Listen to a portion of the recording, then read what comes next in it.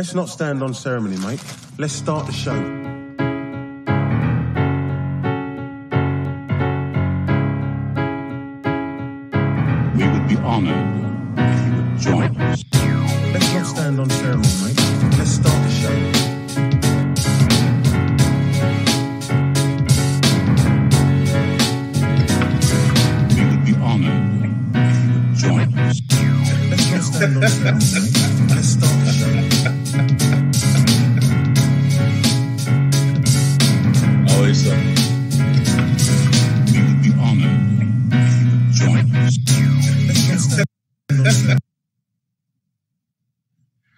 Trying to play DJ over there? What are you doing? I'll, I'll admit, it actually sounded like a pretty good remix for a second or two there.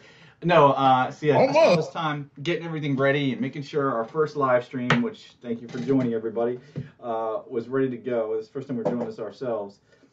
Um, How's that you- looking? I had YouTube up in the background to make sure the stream was going right.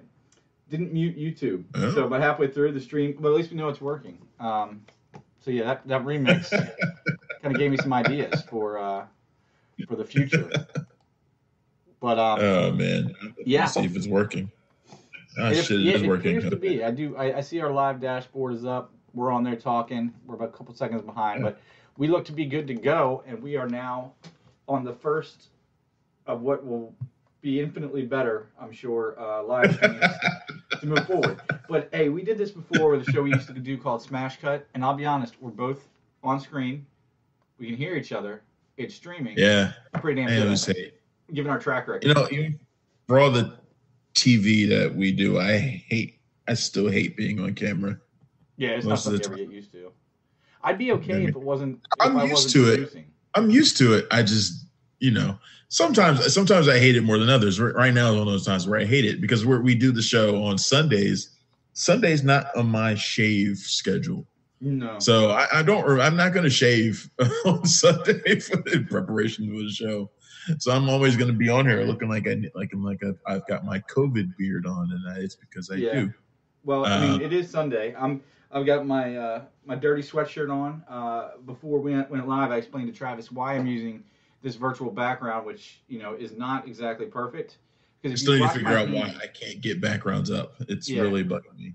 But if you look over here, you can kind of see all the crap that's laying around my room in here that I didn't uh, in my office that I didn't bother cleaning up. So, um, like I said, it's going to be the first of what will be infinitely more professional and better uh, streams, uh, and the first of many different shows we'll be doing for you guys like this.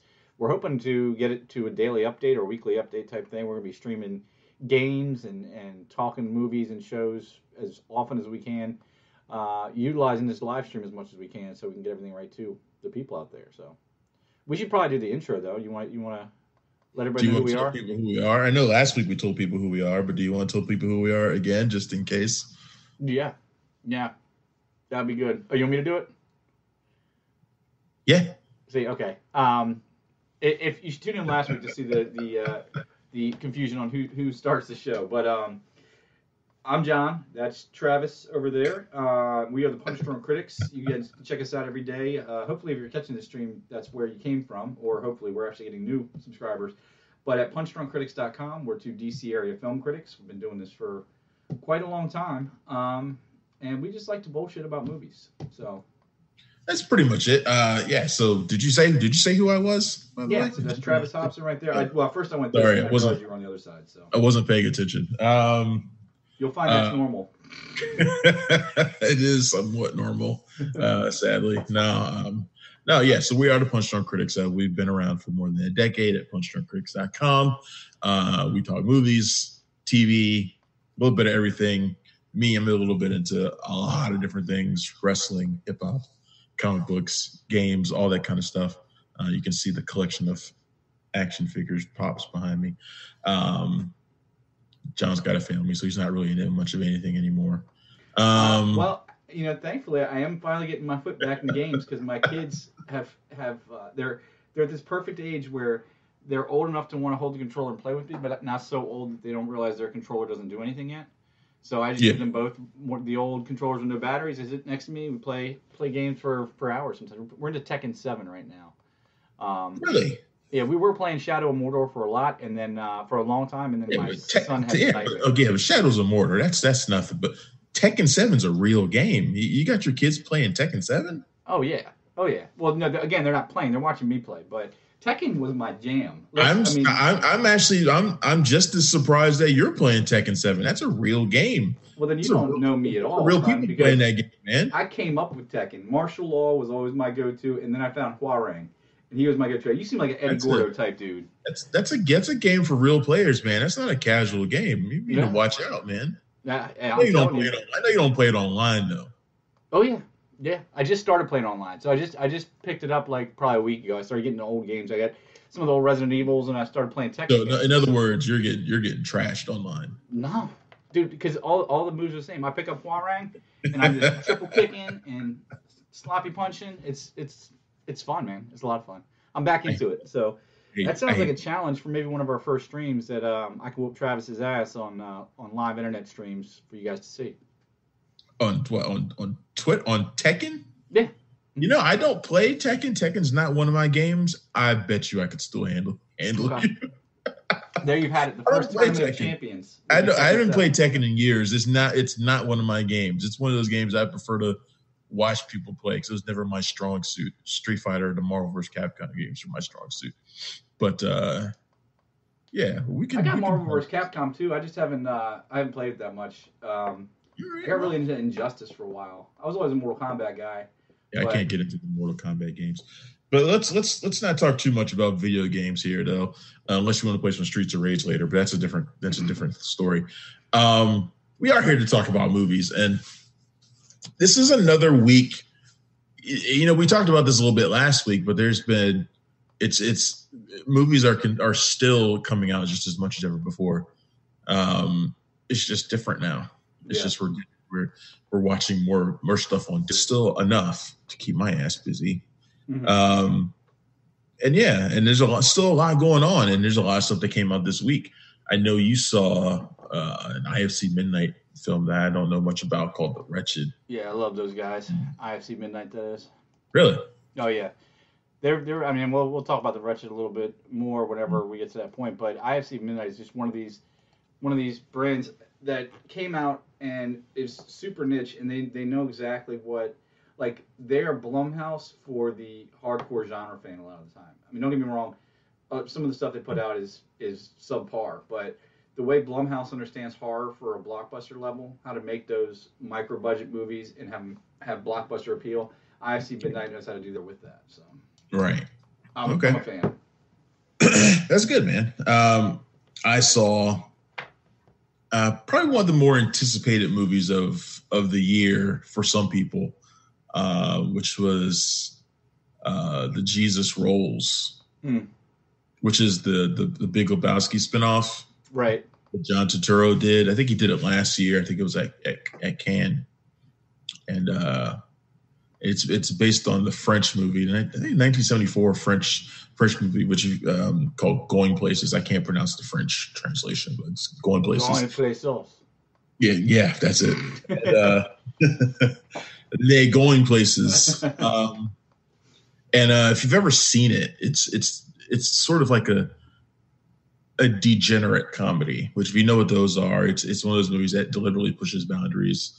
A lot of sexual situations, and uh, it's it's based on that, and it keeps a lot of that intact because this is a really sort of raunchy movie.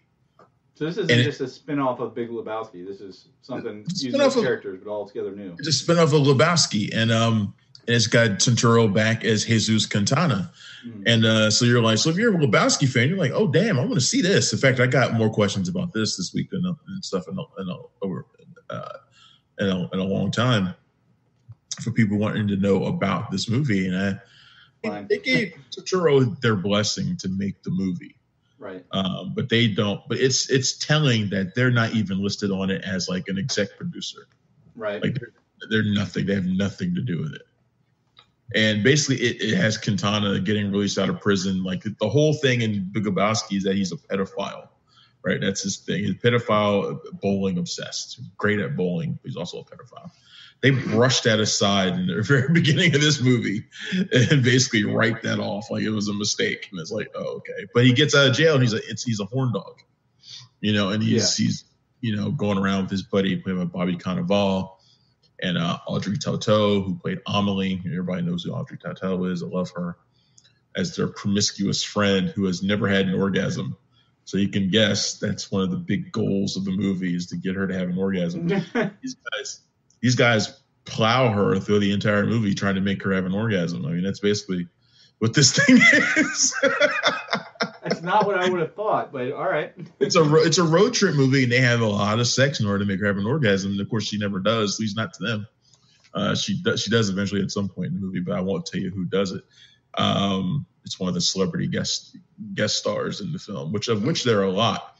Uh, Really? Christopher Walken, Susan Sarandon, Pete Davidson, J, J, JB Smoove, a lot of Pete people, Davidson man. is So trying hard to get into Hollywood, man. I, he keeps popping up in like Who? Pete Davidson.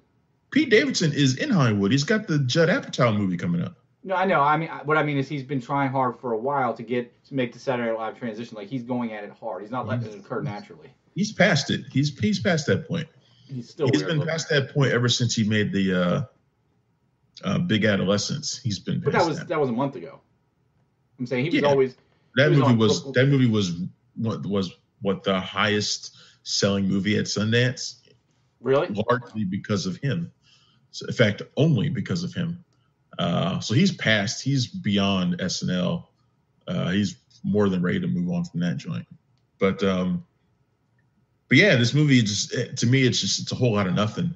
It's I, I I was expecting it to be somewhat smart. At least it's not though. It's it's really just really just basic uh, sex humor, and I just I was expecting a lot more. And it's also re- kind of I don't know the treatment of women in this movie is really really lousy, really lousy. That saying, just- sounds like uh, American Pie for middle-aged people or something But like Susan that. Sarandon's character too, man, is just you know she plays a uh, a prisoner who just got let out of pri- uh, an ex-con just got let out of prison, and the guys take her in and wine and dine her, and then they you know nail her too, and it's just like Yeah.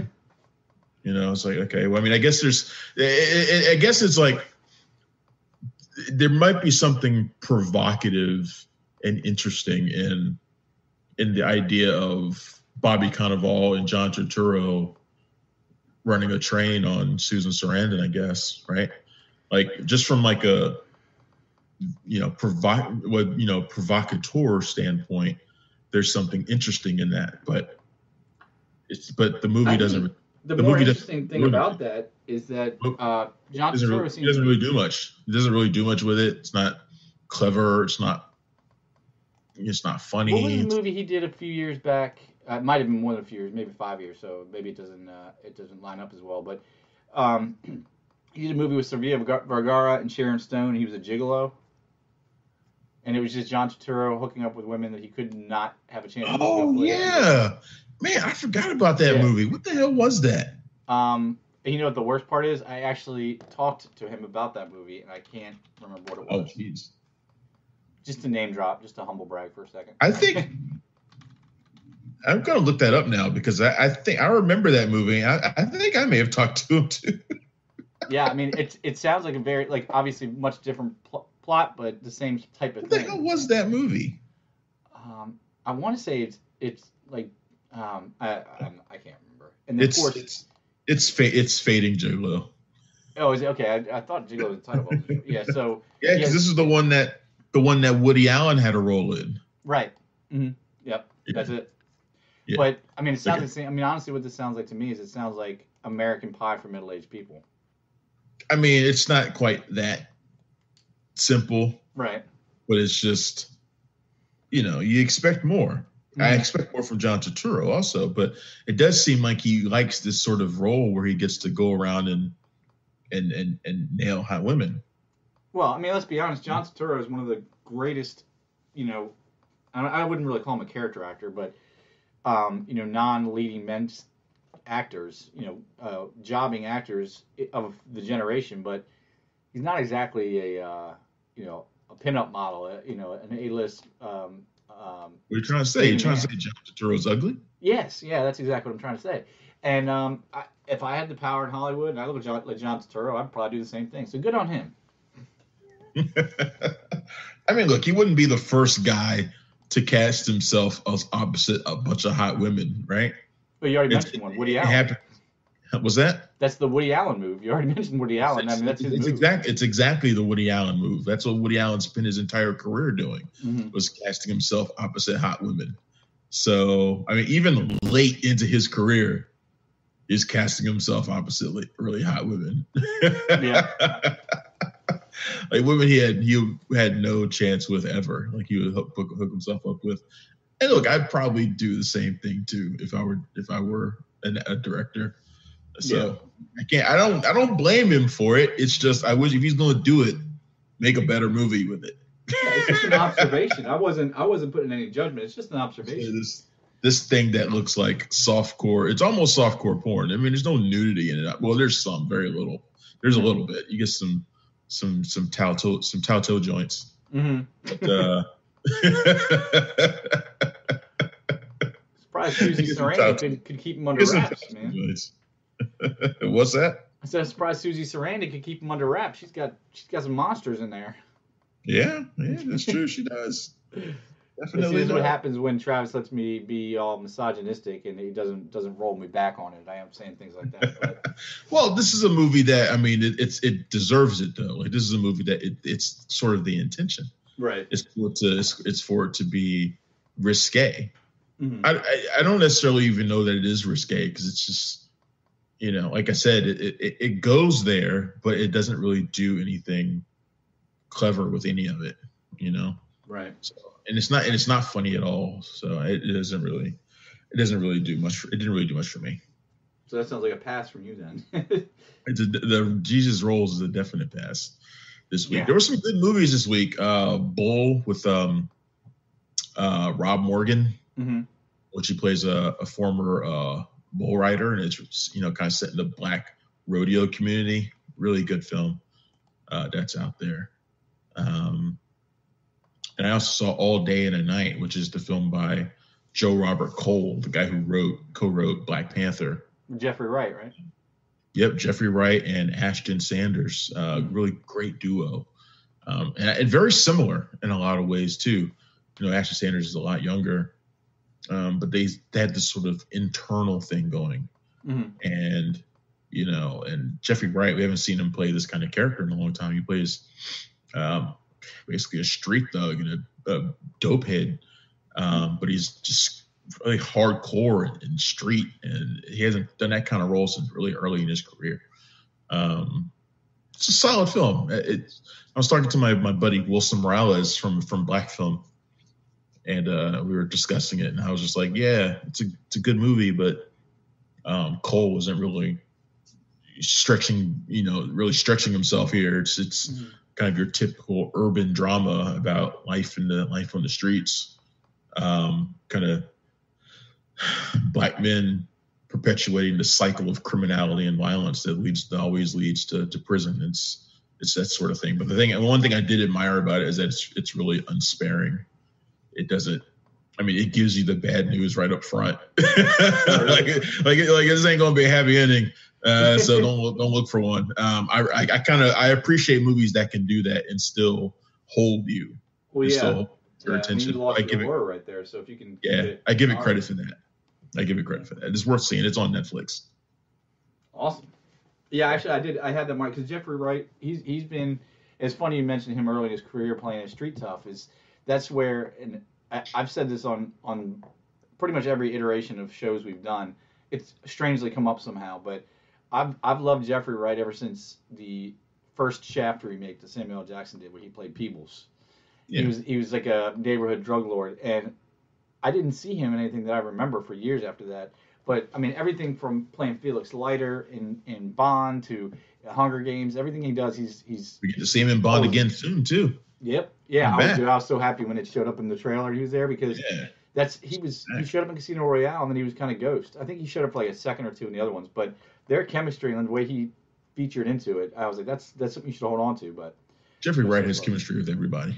yeah, well, he's seen, and he's one of those Those people that seems like no matter what he tells you, it could it could change your life. Like he's got that gravitas to everything he says. Where Yeah. when he's, He's a lot like- listen. He's a lot like how Morgan Freeman is, where everything they say seems important, like no matter what. Right. And you know, he's a, a person who can be. He's always got this sort of patriarchal thing going for him, no matter what he does. Mm. um, which is why it's interesting to see him in this kind of role again. Um, he still has that though, and, and that's what makes it, you know, which is what makes it so, I guess, moving in a lot of ways. Is that he's still got that that you know fatherly aspect to him, but his character is out of control, Right. you know, uh, violent and aggressive and and on drugs a lot of the time and abusive and you know but then he has these like these moments of of clarity where he like shows sensitivity to his to his son who's played by Ashton Sanders um you know so it's it's one of those things where it's he's kind of pulling you in, in different directions Right. Well, I can imagine that that Ashton Sanders has that too. Ashton Sanders has that ability too. Uh, he's a guy he really broke out from after Moonlight, Mhm. and after that, he's been playing a lot of these roles where he plays these guys who are kind of broken down by the system, you know, systemic racism and and uh, stuff like that. Um, he's taken on a lot of those roles, and this is just another one for him. He's he's good at this one too. The movie has issues, but it's not those two. Awesome. Yeah, I mean Netflix has been really, you know, I think streaming is always going to be what. Spotty.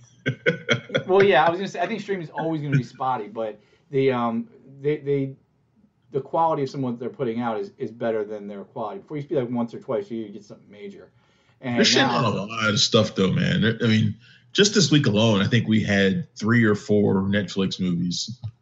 Um, because I know we had, I think the, I think half of it might be a Netflix movie. I'm not sure. Um, but we also had Dangerous Lies, and it's just like a lot of stuff coming out on Netflix now. did did you watch that Dangerous Lies? No, Oh, okay. Because I, I haven't bothered to look up, but I, I will be upfront with you, dear audience. I'm a big Camila Mendes fan. She's uh, I was watching Riverdale with my wife. We watched the first season. It was pretty good, and and I'm a fan. it means So it means she must be hot. Yeah, oh yeah, yeah, yeah. I, I don't even need to go any further. I already know Yeah. she's hot as soon as you said you're a fan. No, well, I yeah. In this case, it is it is solely based on that because I've only seen her act as as Veronica in on Riverdale. Riverdale, on Riverdale? Is she Veronica? Yep. Yeah, it's Veronica on Riverdale. I mean, you're not going to see somebody's acting chops on Riverdale, really. So, um, but yeah, um, and I mean, like with Extraction, the only thing I'm I'm wondering is their release plan. Like, if, if with COVID and the quarantine, don't you kind of pull all the release valves as quickly as possible for all this? Because they do have a lot of stuff they're sitting on, and I understand they have a release schedule and you want to peter it out, but don't you don't you want to like kind of push all that stuff to the front line while you have this captive audience that can't go to the movie theater and all that stuff? I don't you know. know. I don't know. I mean, I don't. I don't know if you want to put it all out there, but it seems like they're that's what they're doing. Like they're putting, Right. they're just dumping a lot of stuff out there, and a lot of it's really hit or miss. Mm. Um, but then again, Netflix movies are always hit or miss.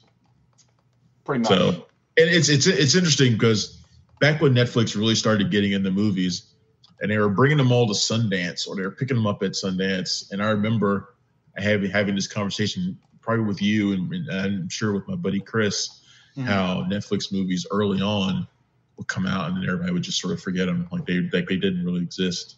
Right. Um, like really some really good ones too, like. I don't feel at home in this world anymore with Melanie Lynskey, you know, stuff like that would just come out and then like the week a week later it would just be it, like it vanished Yeah, And- zero shelf life. and then and then stuff with really big names like war machine with brad pitt would come out and it would just vanish and Yeah. it's like, like you know and then and then but then all of a sudden they started getting all this prestige and they started making movies like roma that would break out and get Mhm. awards and stuff like that but and then you know movies like the irishman and it's like yeah but um probably about 90% of those movies are still just going down the memory hole Oh like yeah, a, movie, yeah, yeah. a movie like Dangerous Lies is is going down the memory hole.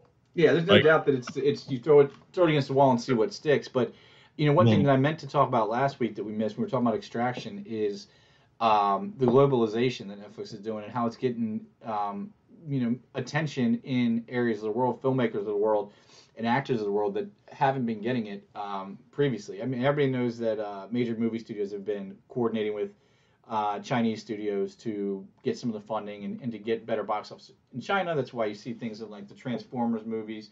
There's always a scene that takes place in some part of China. Well, with Extraction, what you see is how that's starting to happen with Netflix in India. Um, India has a huge Netflix fan base. Anybody that has looked at the Netflix queues uh, and the recently trending and all that stuff will notice there's a ton of Bollywood style films that are showing up within the last like six months. And now they're starting to do that uh, and, and branch it out there. So I mean, it, it, what, one of the one of the things about the globalization of Netflix that's really annoying to me is how much freaking cool content. Let me finish. It's not going to be racist or anything.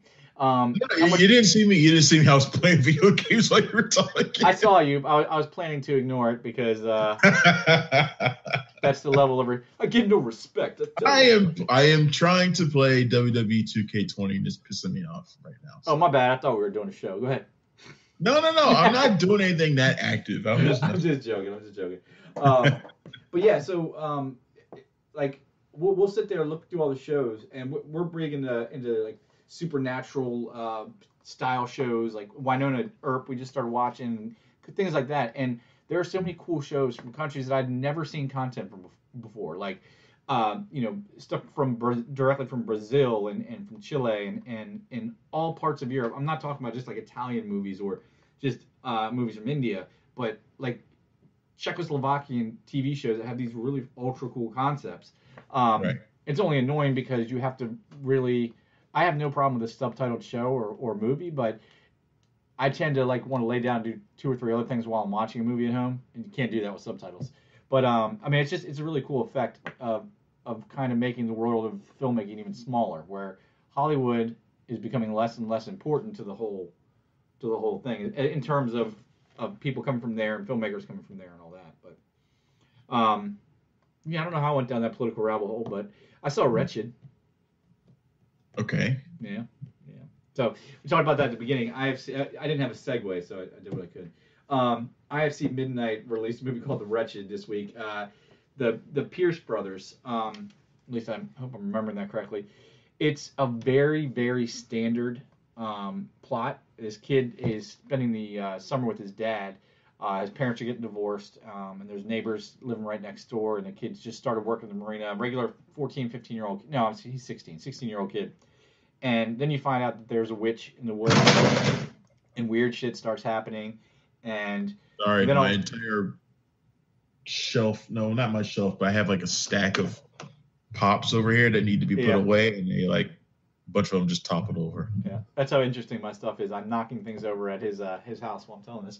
Um, no, I was trying. But, I was trying. I was trying to move the child. Release it. I know they were planning on it, but I didn't know what the. Anyway, um, they got, a, they got a new wave of them coming out.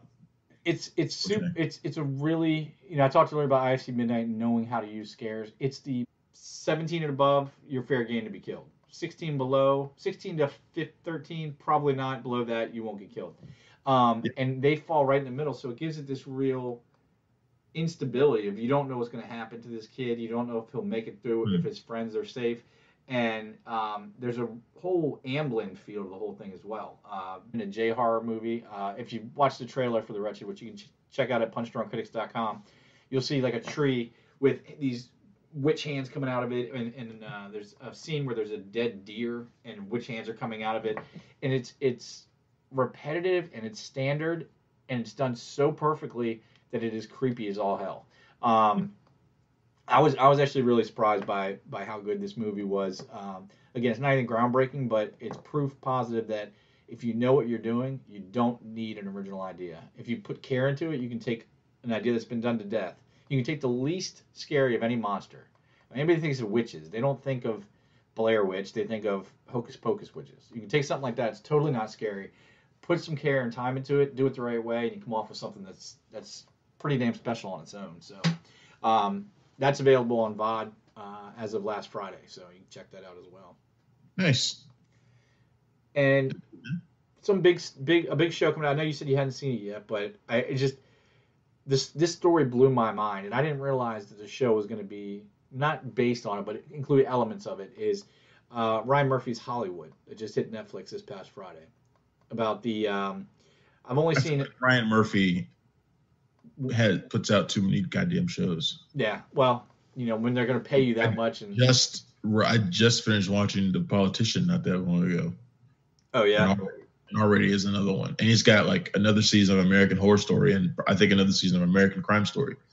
Like, Yeah, I'm still I'm still behind by two seasons of American Horror Story, but um, Hollywood, man, it's it's it's gorgeous, but it's about um, post-war Hollywood. You know, these all these people Yeah. coming back from the war and trying to make it big, but that's not what surprised me. I love all that stuff, but what surprised me was our main character. Um, you, you know the whole story about Scotty Bowers. I don't know if you ever read that book called Full Service. Oh, I know. Yeah, that that that takes front and center stage with basically, and now I I've, I've done some legitimacy checks, and it seems like a lot of people accept what he's saying. I mean, are you on board with Scotty Bowers telling the truth, or do you think some of it's made up, or all of it? You mean about him sort of being like a Like a, to the stars, yeah.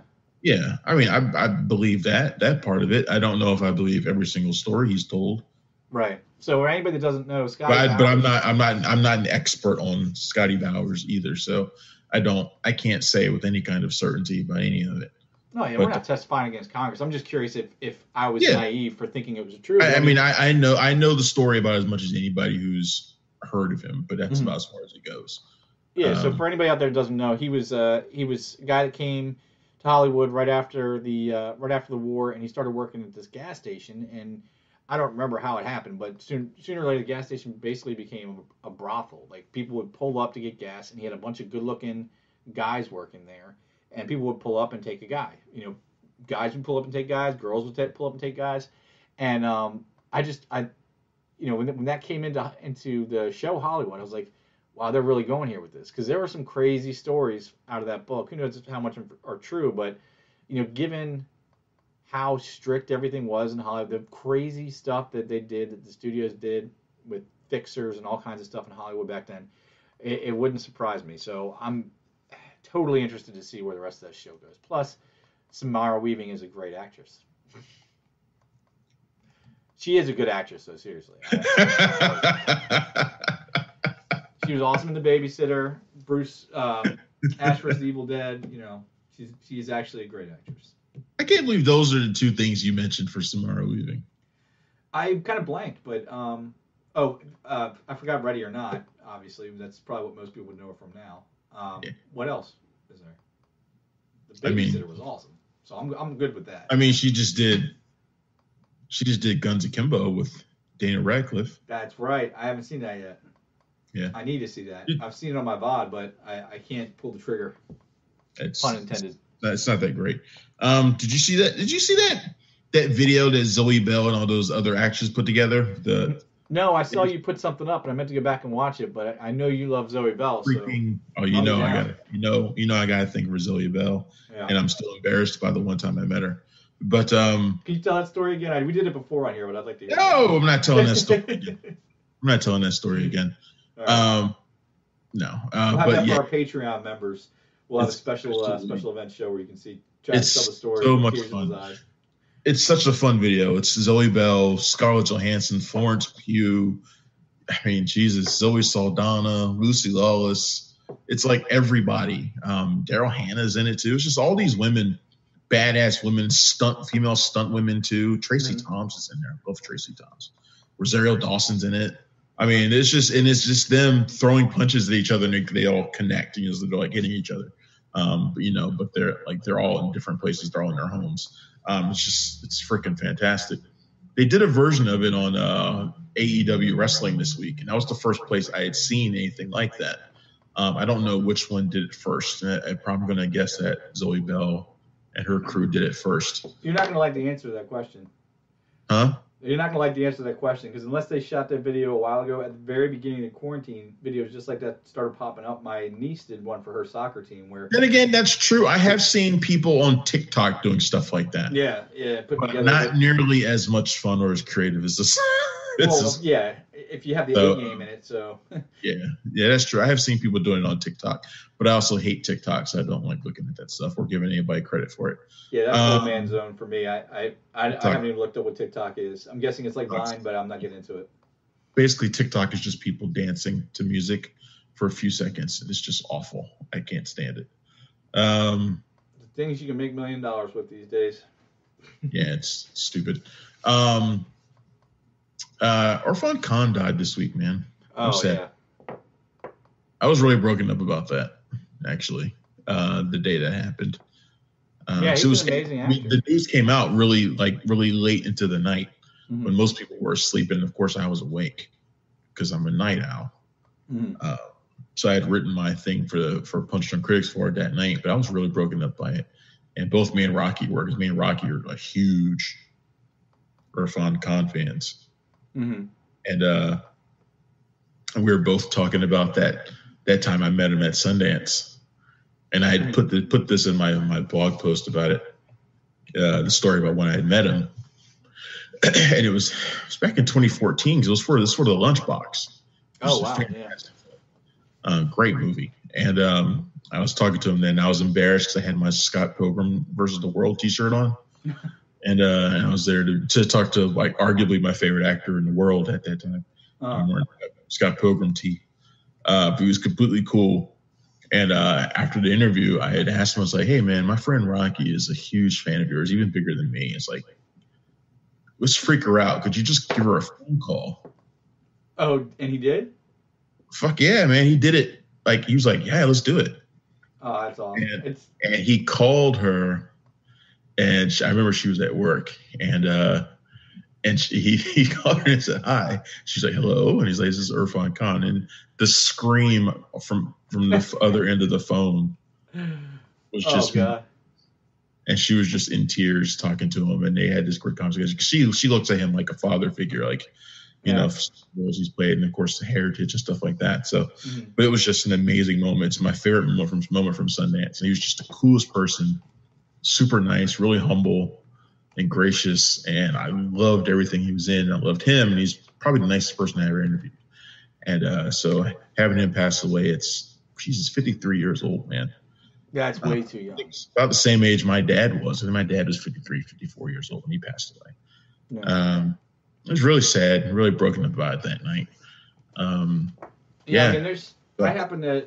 Um, I, I have a buddy of mine is uh, is lives in India. He's, he's, he's Indian, lives over there. Uh, Sam Khalik, and um, I happened to talk to him the day that this was that after this happened, and he's like a national treasure over there. I mean, people are are Oh, yeah. broken from it. Um, and you know, and you could even hear like they had been fighting his cancer with him for the whole time. Um, you know, that like you know you could really hear it in in the accounts of that just goes speak about what type of person he is. I mean, if you cannot meet people and have that kind of effect on them, um, and let's just point out the story you just told. I mean, it seems like a small thing, but you don't get that happening very often, where people take a minute out, even a minute, even a minute, and they're busy and all this other stuff, but to take a minute out and call somebody just because to make their day. I mean, it sounds like the simplest thing in the world, but it doesn't happen.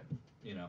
Yeah, no, it's true. It was just a phenomenal moment. I don't know if I'll ever have another moment quite like that um, with another actor. You know, it's not the kind of thing you just up and ask somebody, "Hey, can you call my friend?" Yeah. You know, Yeah. one of those things. And then much less to have them be willing to do it Right. so eagerly. But uh, but yeah, it was fantastic. 2020.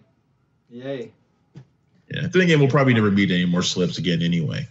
So it doesn't really matter. And even if we did, they wouldn't let us within six feet of them. So Yeah. No more selfies. No more. uh Oh no, there's not gonna be there's not gonna be any more of those. Not gonna be, hey, can I get a photo after the interview? Nope, you sure can't. Yeah. you sure can't. It didn't really occur to me until you just said that, but you're 100% on point. Yeah. Not Hey, gonna give, get give me one second. I gotta go check something. I'll be right back. I hear my kids making some ruckus. So you take the next thing. I'll be right back. It looks r- super weird with you getting up out of the background. Uh, it looks really strange. Uh, I don't know. What do you want me to talk about now as you're gone? Um, I pretty much talked about all the reviews I saw for this week. Although we do got a bunch of them up at Sundance. Uh, Sundance. punchdrunkcritics.com right now. Um, like I said, the uh, Jesus Rolls, Bull. Uh, you got a review of The Flood with Lena Headey. That's supposed to be fantastic. Uh, All Day and the Night. Got that review. Uh, Tammy's Always Dying with Felicity Huffman that she's getting great reviews for. I did not see it myself personally. Uh, and the half of it, um, which is also out, I believe, on Netflix, got a review of that up as well. And there's more than that because the Wretched stuff that John is talking about. Uh, Khalil did a review of Soul City, a TV series. What what did you do? the fun of live streaming uh, with kids in the house. Put my kids down to um, take a nap. I'm out of breath, ran up downstairs before we started, and my son's been having like night terrors very rarely, but he'll wake Mhm. up screaming. Yeah. You know, Murphy's law. He just uh, he just had a little little issue, but we're good now. Oh, uh oh. Okay. All right. Uh, let- let's talk about some of the stuff that's that's going on this week too, man. Because uh, the most prevalent news story that we get every day now is what movie got moved. Right. what movie got moved where? So so Paramount is doing a whole bunch of crap right now, and Paramount is trying to Paramount's basically trying to revive everything, Transformers and GI Joe. Which I mean, the last Well, GI Joe never movie, really was, stopped getting made, right? huh? GI Joe never really stopped getting made. I mean, that Snake Eyes movie's been in production for a while. Yeah, but there hasn't been a GI Joe movie since 2013.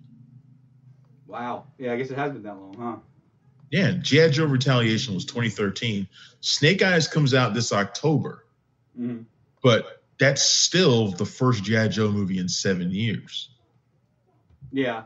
So, and they're using that. That's the one with uh, Henry Golding, which I, I mean, I like that decision, except you're going to have to take the mask off. You can't Mhm. have Henry Golding there and and be Snake Eyes, who never takes his mask off.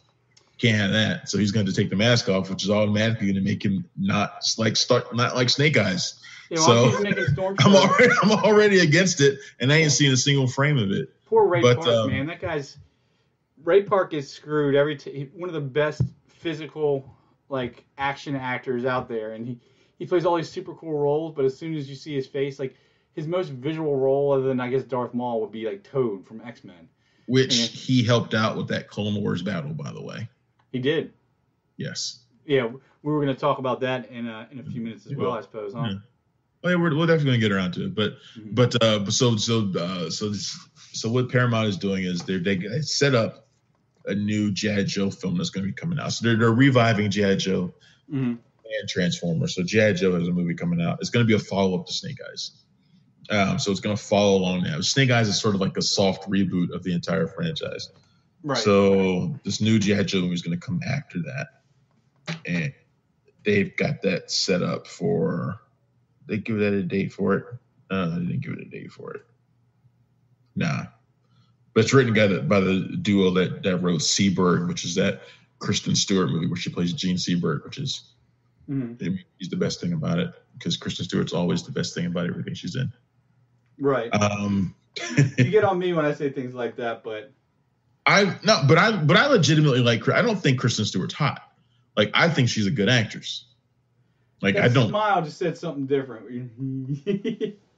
What? I mean, she she she's she's gorgeous, but I'm just I'm just busting your balls. Go ahead. she's, not, she's she's attractive. She is attractive. Mhm. But when we talked about Charlie's Angels, she was like, she was number two. Like she is not Well, that's because she was next to Naomi Scott. I mean, true. A lot of people are going to be number Yeah. two next to Henry Scott.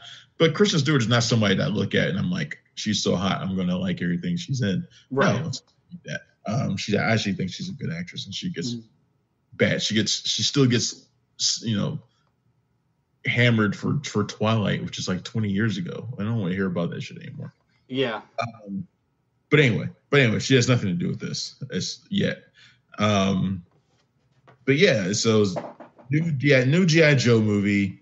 They don't know anything about it except it's coming up after Snake Eyes. But it sounds like they're trying to use Snake Eyes as the backdoor to a new GI Joe movie. Which, I mean, I like Retaliation. Yeah. I didn't like the first one, The Rise of Cobra. I thought was pretty bad.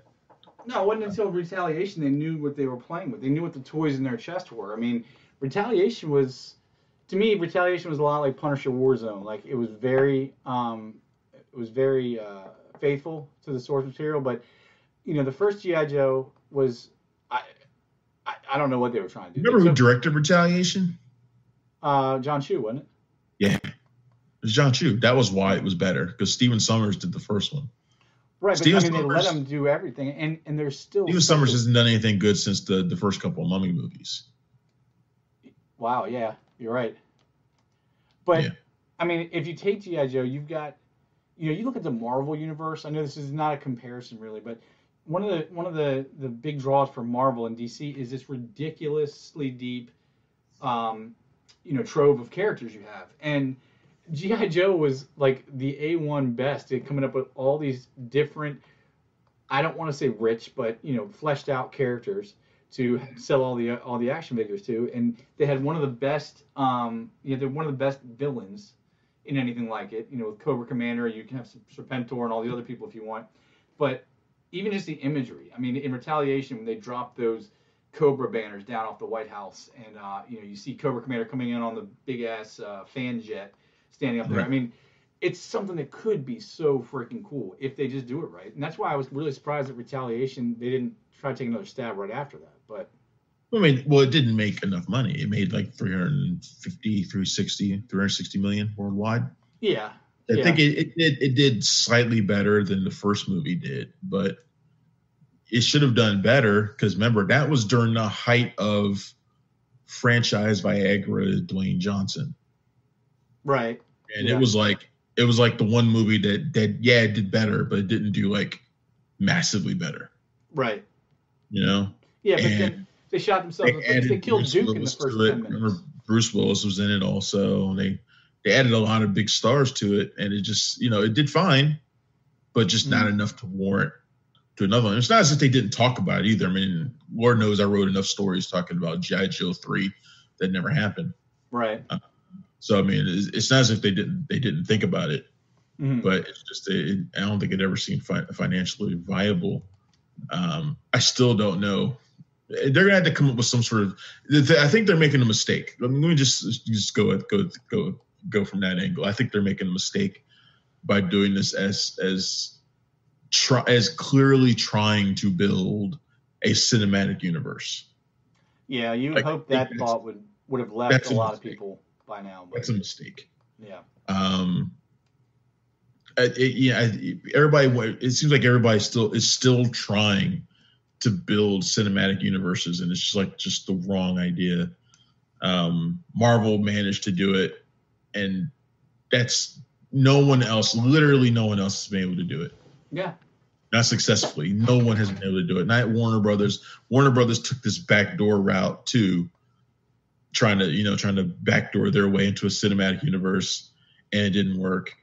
And and now paramount's trying to do the same thing. And they're doing it with transformers also because bumblebee is gonna is leading into a, a cinematic universe that's going to be a new transformers film coming out in 2022 that's the other story. Um we don't know who's what it's going to be about though. It's going to be one of those two movies though that we learned about a few months ago. Like one is the the uh quote possible beast wars movie Yeah. by James Vanderbilt, and then the other one is a, uh, uh, I believe, a prequel of some kind. Uh, no, the, no, no. The, the other one is the one that's a follow up to Bumblebee, but it's not like a Bumblebee sequel. Right. Just one in the same universe. The prequel is the animated prequel that they're doing with Josh Cooley, the guy who did Toy Story 4. But that's not set in that same universe. It's totally separate. So a lot of stuff going on with both with Hasbro's two biggest franchises. And honestly, I'm not that excited about either one of them. hmm I mean, I'm curious about the animated prequel just because I love the cartoon so much, but it's going to depend on the approach. Yeah. So I've never seen Beast Wars. I, I didn't. I mean, Transformers hated was never Beast really Wars. my thing. But so hated Beast Wars. oh, okay. So it's not there was a compelling story to tell. It's just I feel Look, like look, don't take me as as like as indicative of what others thought because a lot of people love Beast Wars, and certainly if you watch the show, it looked cool as hell. I mean, it had the Hmm. CG, CG graphics. You know, it was it was definitely different. right. But wasn't, it just wasn't for me because I've always been a G one guy. So you know, I don't- I don't I never liked all the spin off things from Transformers. None of them ever worked for me. So um, I don't know. I'm I'm I'm having a hard time getting excited about either one of these things.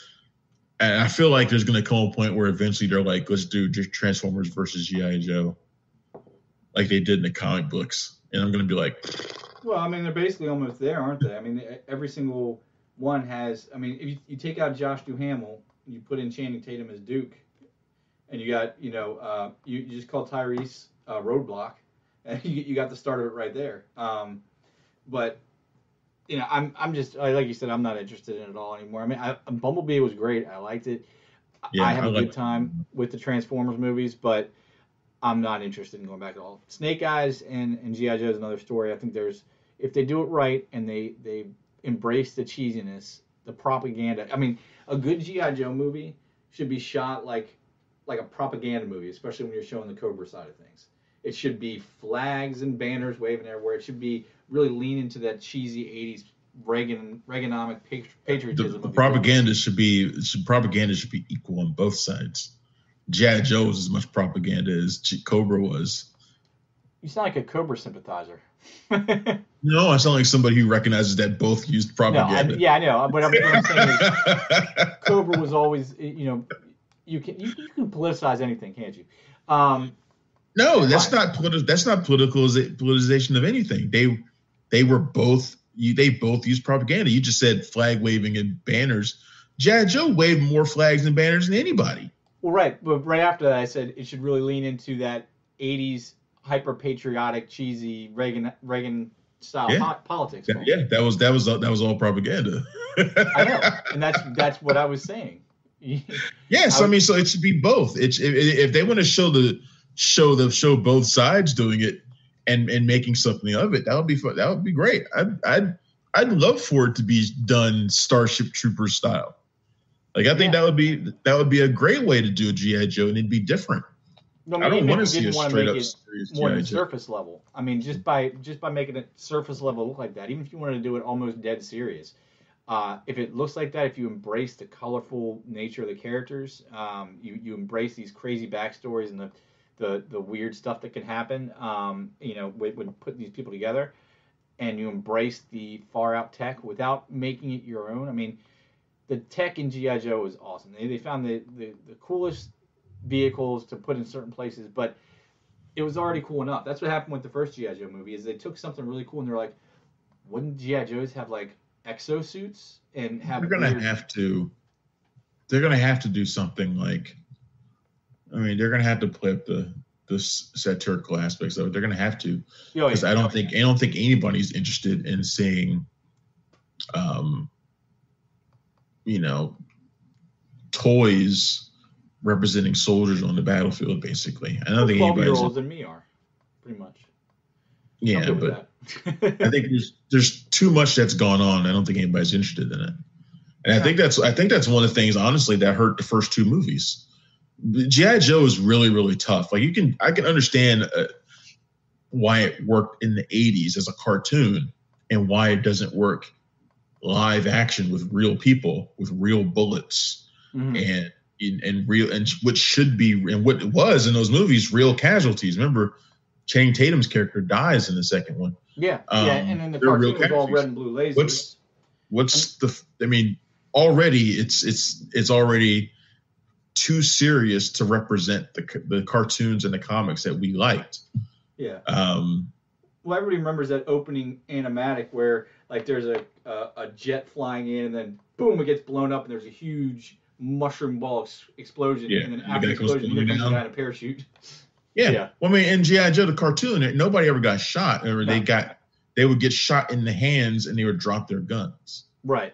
that's what happened all the time that's why when duke took that that serpentor snake to the chest it was so it was so mind-blowing Right.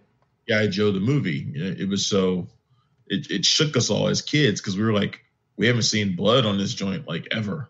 Yeah. And Like, like no one's hurt. ever been hurt like this ever on this show.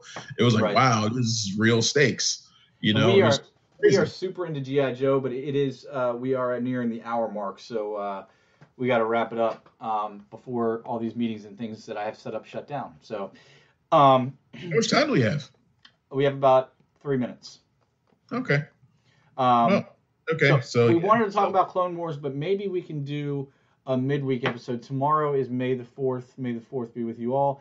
Uh, Disney Plus is airing two things tomorrow for uh, Star Wars fans. You have the finale of Clone Wars, and you have uh, the Mandalorian behind the scenes show that they're doing. Um, I know we both really want to talk about Clone Wars, but maybe we do that after the finale. We can wrap everything up. I just main thing I wanted to, to press upon for it was how awesome that scene was of how awesome it looked. That scene of Ahsoka in the middle of that control room with clones all around her, just you know, and smoke rising up. Oh, it was amazing. her versus uh, Darth Maul. Great stuff. Yeah, amazing. Great stuff, man. Um, they really need to package up those fight these final what four or five episodes with Ahsoka. hmm I think it's four episodes, whatever. They need to package them up into a single movie. Isn't that the idea? That's why I, Mhm. I thought that's that's like why they changed the opening credits and stuff like that. I, I don't know if it is. If it is, it's a good idea yeah, because it, it's it's it's already better than the Rise of Skywalker. I mean, it's that's It's- what it's- hurts about this stuff is that I I will still tell everybody, anybody that asks me, that I thoroughly enjoyed Rise of Skywalker. Um, in the theater, I was fist pumping. I felt good leaving the I theater. still but don't. there's there's been a lot of of things to compare it to since, and I'll watch it and I'll still enjoy it. But it is not the great movie that I thought it was originally. I mean, things like reading Colin Trevorrow's script, um, you know, seeing the Clone Wars now, seeing this other. It's less that Rise of Skywalker in my mind wasn't good. It's more of what it could have been that it wasn't, and you see that here. But All you um, need to think about is how much the Colin Trevorrow version would have enhanced everything around it if they had stuck with it, Oh, absolutely. I mean, that's, and that that's and that the Rise of Skywalker doesn't do any of that. I can I can take I can understand enjoying it as as an entertaining movie because I enjoy it as an entertaining movie, but that's it. yeah. But it's not. It shouldn't just be that. It's the finale of the most epic saga ever. It should be more than that, and it wasn't. That's that's that's like my final. Well, I'll tell you what. Look at it this way. Look at it as the epilogue, and Last Jedi was the final one. There you go. Snoke died, and that was the end of it. And we're all good. but we're about to get cut off here, so we're gonna check in with you guys. But uh, you need to follow us, uh, follow the Punch Drunk Critics and Cinema Royale. Um, www.spreaker.com slash show slash cinema dash royale underscore one. Travis is twitter.com slash punchy critic. I am pu- at punch drunk john. Uh, you can follow the whole site at, at PDC Movies. Uh, make sure to check us out on Facebook, facebook.com slash punchdrunkcritics and facebook.com slash Cinema Royale Show. And wherever that button is for subscribe, go ahead and you can say you were one of the first ones to subscribe. So make sure that happens as well. All right, y'all. Thanks for tuning in. Later.